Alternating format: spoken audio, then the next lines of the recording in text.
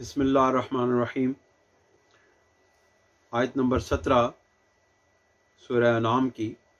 अल्लाह करीम इरशाद फरमाते हैं कि वही यम सस कल्लाह बिदुरन फ़ला काशिफ लहू अल्लाह वहीं यम सस का बखैरन फ़ाह अला कुल्ल शैन यानी अगर तुझको अल्लाह ताला की तरफ़ से कोई तकलीफ़ पहुँचे तो उसका दूर करने वाला भी उसके सिवा और कोई नहीं है। और अगर तुझे कोई खैर पहुँचे, कोई अच्छाई पहुँचे, कोई नफ़ा पहुँचे तो वो हर चीज़ पर कुदरत रखता है। दोस्तों, ये बड़ी खूबसूरत आय मुबारक, हर आयत बड़ी खूबसूरत है, लेकिन मानी के अतबार से और हमारी रोज़मर्रा ज़िंदगियों के अतबार से ये बहुत खूबसूरत आयत है। इसमें अल्लाह रबुल्ज़त हमें बताते हैं कि जो कुछ भी तुम्हें तकलीफ़ पहुँचती है, तुम इसको समझो कि ये तुम्हारे रब की तरफ़ से है। यानी मोमिन की जो तकलीफ़, मोमिन को जो तकलीफ़ पहुँचती है, मोमिन को जो दुख पहुँचता है, मोमिन को जो बीमारी पहुँचती है, मोमिन के जो कामों के अंदर, कारोबार के अंदर नुकसान होता है, वो उसको अपने रब की तरफ़ से समझना चाहिए।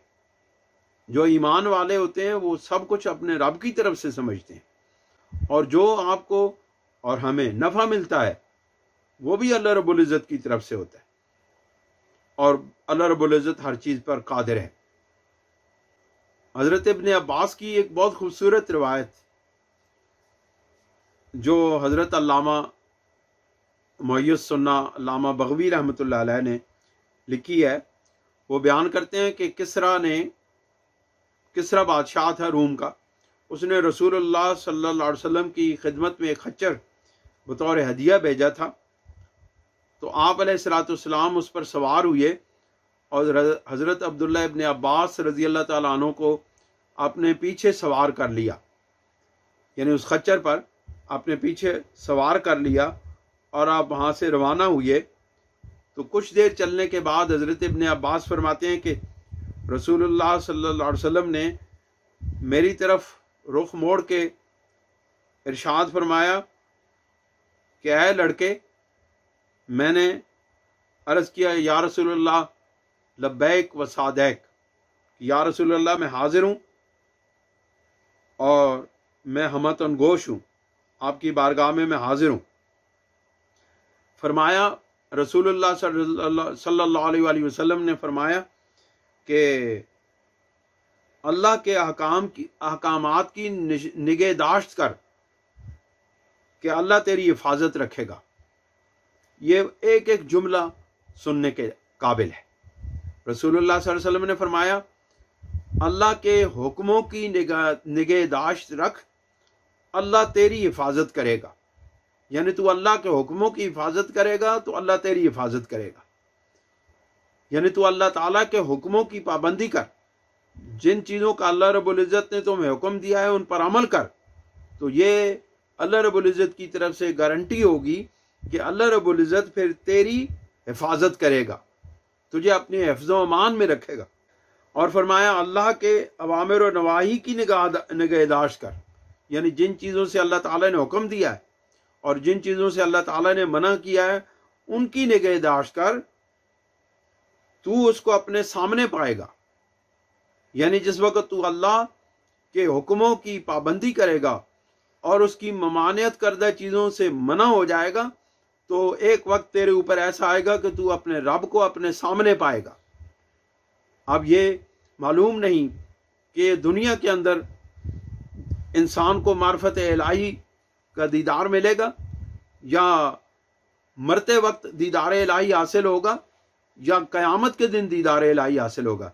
लेकिन रसूलुल्लाह ने फरमाया वसल्लम, कि तू अल्लाह रबुल्ज़त के अवामिर नवाही की निगाहदाश्त करेगा तो इसके नतीजे में अल्लाह ताला को तू अपने सामने पा लेगा। फिर फरमाया, तू ऐश व आराम के वक्त अल्लाह को पहचान, यानी जिस वक्त तुम्हारे पास मालो दौलत की फरावानियों आसानियाँ हों, आसाइशें हों, हर तरह की दुनिया की आसाइशात तुम्हारे पास मौजूद हों तो फिर उस वक्त अल्लाह ताला को पहचान। दुख और सख्ती के वक्त खुदा तुझसे अनजान ना होगा। यानी कि जिस वक्त तूने अपने ऐशो आराम के वक्त अल्लाह रबुल्ज़त को पहचान लिया और ये सब कुछ अपने रब की तरफ़ से समझा तो फिर याद रख, जिस वक्त तुम पर दुख और तकलीफ़ की घड़ी आएगी तो अल्लाह ताला तुमसे अनजान नहीं होगा।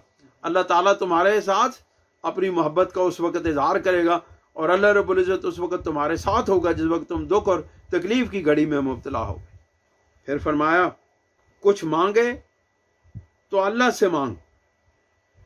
अगर मदद तलब करे तो अल्लाह से तलब कर। जो कुछ होने वाला है, कलम उस पर चल चुका है।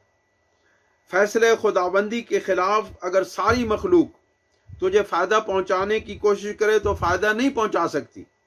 और अल्लाह की तहरीर के ख़िलाफ़ अगर तुझे ज़रर पहुंचाना चाहे तो ज़रर नहीं पहुँचा सकेगी। यानी सारी दुनिया, सारी मखलूक भी इकट्ठी हो जाए।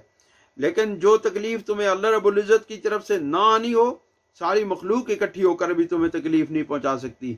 या वो फ़ायदा जो अल्लाह ताला की तरफ़ से तुम्हें ना मिल रहा हो, वो फ़ायदा सारी मखलूक अगर तुम्हारी मदद पे आ जाए तो वो तुम्हें फ़ायदा नहीं दे सकती। लिहाजा अपने फ़ायदे के लिए और अपने नुकसान के लिए अगर जब भी देखना हो तो अपने मालिक की तरफ़, अपने खालिक की तरफ़ देखें। अगर तुझसे हो सके तो यकीन के साथ मुसीबतों पर साबिर रह रह कर अमल कर। अगर अमल न कर सकता हो तो सब्र कर। नागवार अमूर पर सब्र रखने में बड़ी बेहतरी है। यह भी जान रख के सब्र के साथ मदद होती है। यानी जो लोग सब्र करते हैं, उनको अल्लाह ताला की तरफ़ से मदद हासिल होती है। और सख्ती के साथ कशाइश, यानी जिन पर अल्लाह ताला की तरफ़ से सख्ती आती है, फिर एक वक्त आता है कि उनके ऊपर कशाइश, उनके ऊपर आसानियाँ, उनके ऊपर अपनी रहमतें जलाल की, वो फरावा हो जाती हैं। और दुशारी के साथ आसानी, और जो लोग दुशारियों में से गुजरते हैं, अल्लाह रबुल्ज़त फिर उनको आसानियाँ ता फरमा देता फिर अल्लाह करीम शाद फरमाते हैं वह वलकाहिर फ़ौक इबाद ही और वही गालिब है अपने बंदों पर। वह वल हकीम खबीर, और वही हमत वाला है, और बाखबर है, कोई चीज़ भी उससे मख्फी नहीं है।